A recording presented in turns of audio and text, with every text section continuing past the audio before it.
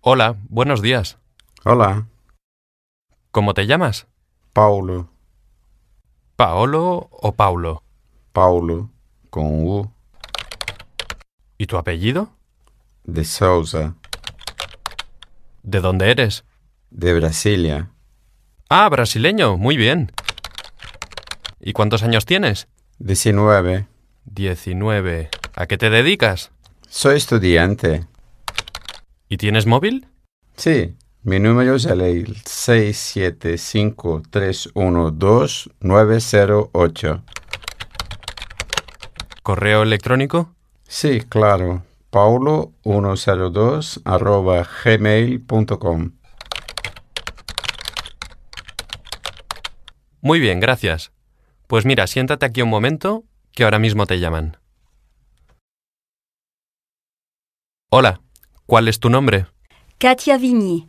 Viñí, ¿cómo se escribe? V-I-G-N-Y.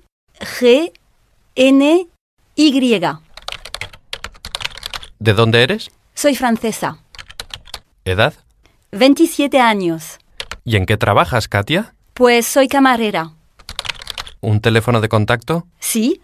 Eh, 913490025. ¿Tienes correo electrónico? Sí. Es katiavigny arroba hotmail.fr. Muy bien, gracias. Ahora mismo te llaman. Hola, buenos días. Buenos días. ¿Cómo te llamas? Bárbara. ¿Y tu apellido? Meyerhofer.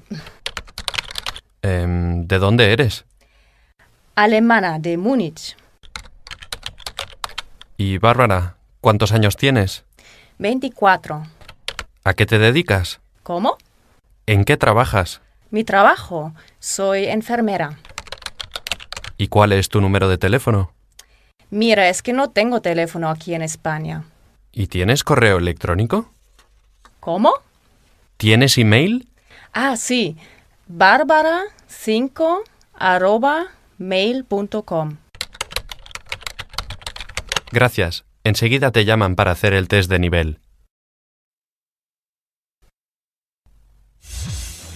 Hola, ¿qué tal? Hola, Hola. Y yo me llamo Ana. ¿Y tú? Peter. Peter. ¿Eres inglés? No, no americano. Ah, vaya, americano. ¿Y tú? ¿Eres española? Eh, sí, soy de aquí, de Santander. Ah, ¿y ¿en qué trabajas? Soy periodista. Hola, Hola, ¿eres de aquí? no, soy colombiana. ¿Y tú? Yo soy francesa. ¿Estás aquí de vacaciones? No, estudio español en la escuela de Juan. ¿Quieres tomar algo? Bueno, un poco de vino. Perdona, pero no nos conocemos. Yo me llamo Elvira. ¿Y tú? Yo me llamo Stephanie.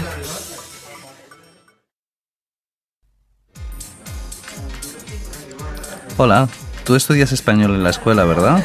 Es que creo que te he visto en el bar. Sí. Y tú eres profesor, ¿no? Sí. Me llamo José Antonio, ¿y tú? Katrina. ¿De dónde eres? Americana.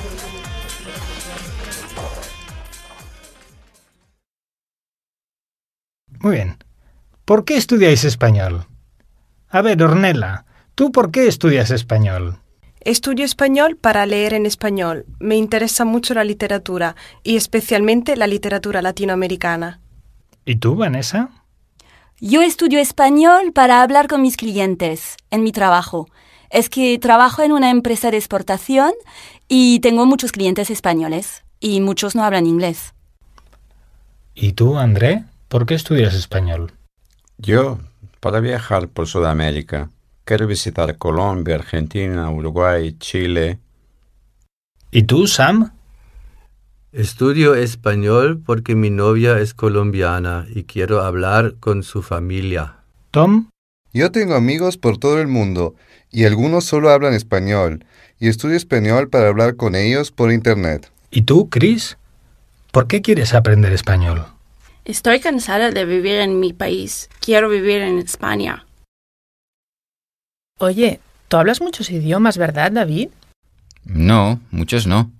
A ver, hablo español, que es mi lengua materna, y también hablo alemán e italiano. ¿Y hablas bien alemán? Sí, muy bien, porque mi padre es alemán. Ah, sí. Sí, y hablo alemán en casa. Claro. Y también entiendes todo en alemán, ¿no? Sí, claro. Ya. ¿Y escribes y lees bien también? Sí, muy bien también. Leo muchos libros en alemán. Qué bien, qué suerte. Sí. Y también hablo italiano bastante bien. ¿Y entiendes bien a los italianos cuando hablan? Sí, bastante bien. Pero no escribo muy bien, escribo regular. ¿Y lees bien en italiano? Sí, bastante bien. Bienvenidos al programa de radio Mundo Latino. Como siempre, empezamos con algunos datos curiosos. Manuela, ¿sabes que la montaña más alta de América está en Argentina? Ah, sí. Sí, y es el Aconcagua, y está en la cordillera de los Andes. Ah, claro, la Concagua. ¿Y qué más? Pues el desierto más seco del mundo también está en un país de habla hispana. Es el desierto de Atacama, en Chile.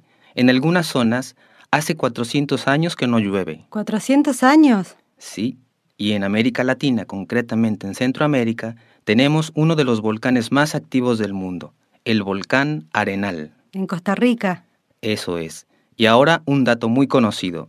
¿Cuál es el país más poblado del mundo hispano, con más de 110 millones de habitantes? México, ¿no?